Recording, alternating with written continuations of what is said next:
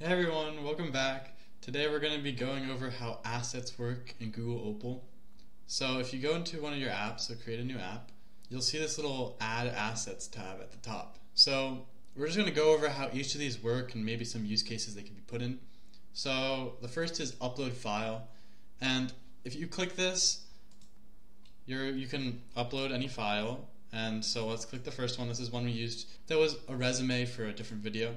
So this can be used kind of as like a knowledge base. So if you were to put after this a generate step, you could drag it to the generate step and so basically this information would go into there.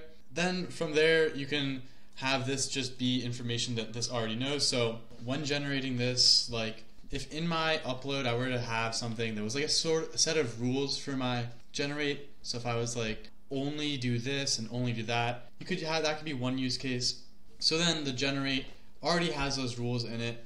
And if they're just like basic rules that you put in every single time, that could be one thing. So the upload here works as more of a an information base that the generate and everything after it can use. This isn't the same as if you were to be using the user input and then if you were to be actually using the app and depending if you click start you see this little plus here. Yeah, it's not the same because this will be something that the user is doing the other thing is something that the creator gets to choose. So if the user has to upload something, that's different. But if it's something that's going to be the same for every single user, you can have that as your upload in the uh, workflow over here. Yeah, so if you input something, this is very variable. It can be different each time, but no matter what, this will always be the same. Okay, so we're going to move on to the next asset. So next thing is My Drive, and this is actually a really useful one. So since it's Google, it has access to all the different Google applications.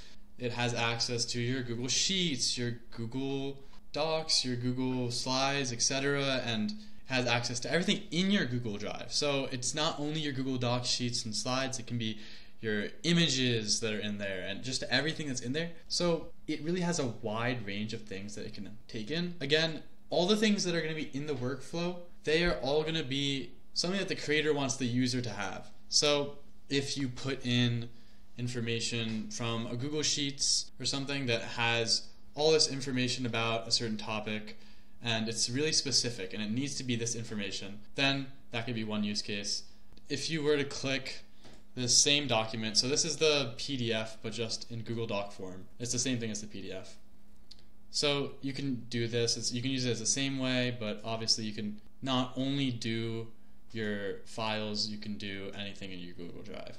Next asset is your YouTube, which will be a YouTube video and it'll work the same. So it's something the creator wants to always be in there and always have for the information. Um, it's going to work the same as both the other ones in the same way that it's going to just be something the creator has that will feed into all of the steps following and it's not going to change. Um, next asset will be text, which again it's it's pretty similar. You might see a common theme that all kind of have similar use cases, but like here, this could be just anything that you type right here, or honestly, this could be the same thing as what we uploaded from our Google Doc or our PDF. It could be the exact same, but this is just a slightly different way to do it. Yeah, it serves a very similar purpose. It's just a matter of how you want to like upload it and you want it to process. So, for instance, if you do text, it might be faster to process that than if you do say a PDF where it has to extract all the text and then analyze it.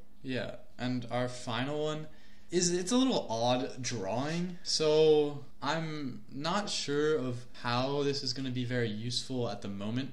What I see now is like you have this little thing over here where you can draw in it. So you can have, I guess, if you wanted to create an image, you can kind of draw out what you want it to look like and then have the generate be using the LLM to create an image or I guess a video as well. You could just base it all off of this one drawing slash picture, I guess you could do. This one, I'm not sure is going to be as useful as some of the others because you could just upload a photo or anything else like that as well. Yeah, like the first thing I was thinking of is maybe if you do like a signature, you can have it like put that at the end of something as like a letter type thing with like your name signed, but honestly, I think it might just be easier to upload an image of that because it's kind of hard to draw on here anyway because you have to usually do it with a mouse. So if you find a use case for this, that's great, but I feel like in most cases you can just use one of the other ones. All right, and that's going to be wrapping it up for all of our assets. I hope you guys really enjoyed the video and you would love to drop a comment saying how you liked using these or your use cases.